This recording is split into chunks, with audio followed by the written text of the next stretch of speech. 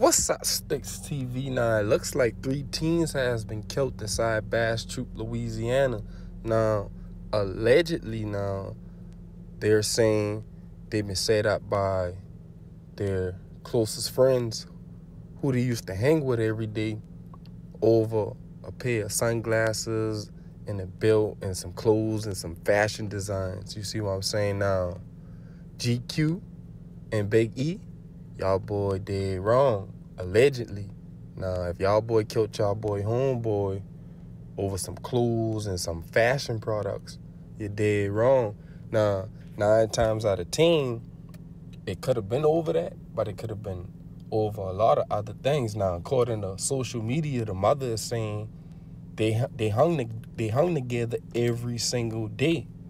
You see what I'm saying? They hung together every single day. So basically, what, you, what we can learn from this situation is that nine times out of ten, when somebody get get gunned down in the streets like that, you see what I'm saying? Nine times out of ten, when somebody get ambushed or get sneaked, and these are what these are street facts. You see what I'm saying? I'm not I'm not the only one saying this. Like, if you really be in the streets, you know nine times out of ten, a stranger ain't gonna be the one get you. You feel what I'm saying? It, it always be your peoples.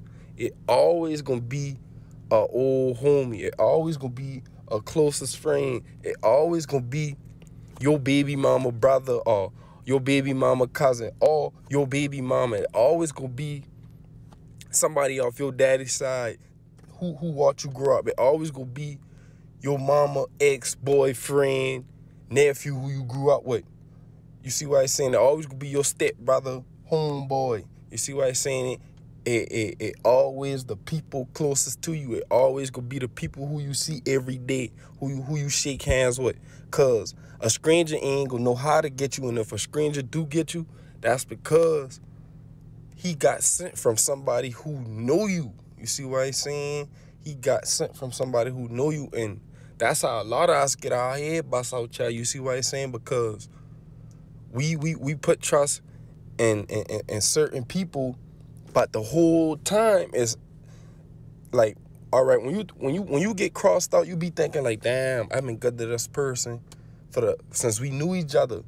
You see what I'm saying? But in actuality, see, it, it's hard for it used to be hard for me to think a person can cross you, but in actuality, the whole time you being good to this person, they're actually literally telling themselves, when I get the chance to cross this person, I'm gonna cross them out and they gone.